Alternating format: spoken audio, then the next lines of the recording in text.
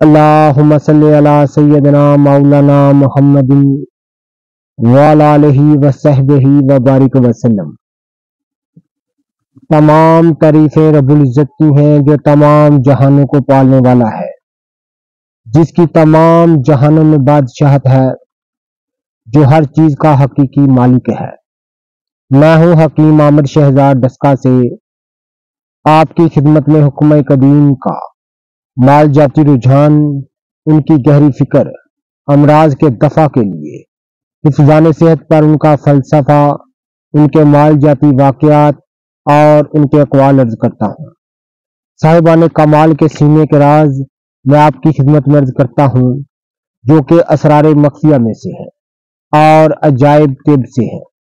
और इल्मुल अकाकीर, जड़ी बूटियों की सही शक्ल सूरत, उनके नाम, उनके फ़ायदे मैं आपकी खिदमत में अर्ज़ करता हूँ। जितने भी मेरे दोस्त अहबाब, मेरे यूट्यूब चैनल हकीम आमिर शहजाद डस्का पर नए हैं, वो चैनल को सब्सक्राइब ज़रूर किया करें। नाजिकम आज हम बात करेंगे लटोकरी की, जिसको कौर गंदल मशहूर नाम इसका जल धनिया है। नाजिकम जिस तरह इसके नाम से ज़ाहिर होता है कि जल धनिया। जल मैना पानी में रहने वाली, ये निबादात की जो किस्म है नाजिग्राम ये अक्सर नमनाक जमीनों में जोहरों के किनारे, तालाबों के किनारे बकसरत पैदा होने वाली चीज़ है। और पाको हिंद की मशहूर निबातात है जल धनिया। नाजिग्राम कदीम दौर में, जब हम किसी चीज़ की हकीकत को जानेंगे तो फिर हमें कदमा की तरफ़ जाना पड़ेगा। कदीम दौर की तरफ़ जाना पड़ेगा। अगर हम कदीम दौर की तरफ़ नहीं जाएँगे तो हमें हकीकत का, बुनियादी चीज़ का पता नहीं चलेगा।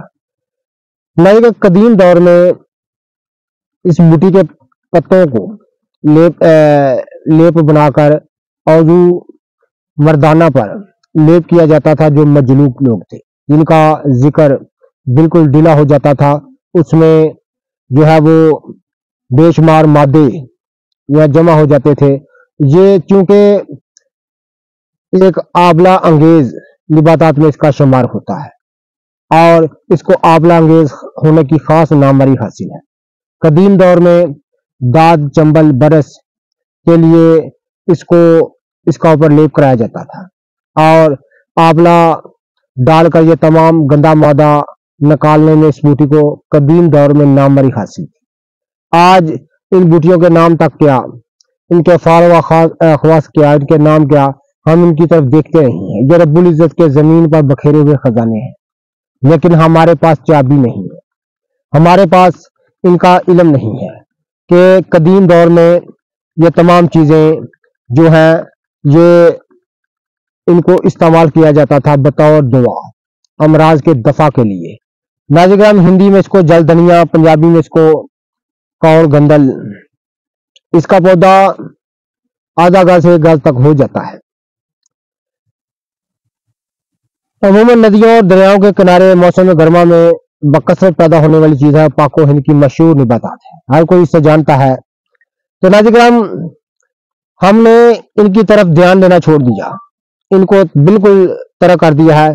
इसको मनफत यानी आवला अंगेज होने की खास नामरी हासिल है।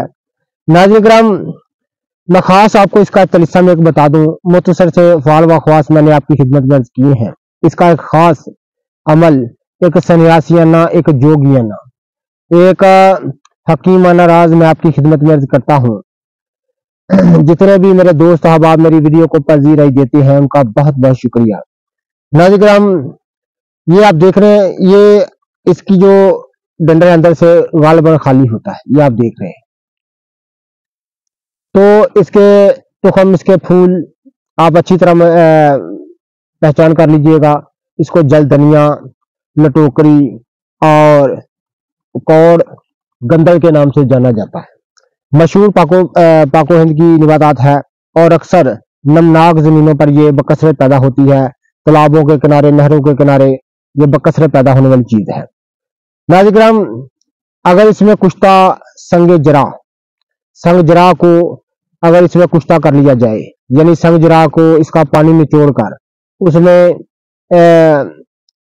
पाँच तोला संगजरा को एक पाव इसका पानी जजब कर लिया जाए पाँच तोला संगजरा में, और उसको एक आँच देकर कुश्ता कर लिया जाए तो ये कुश्ता बगंदर, नासूर और लाहौरी फोड़े के लिए तरियाक साबित होता है।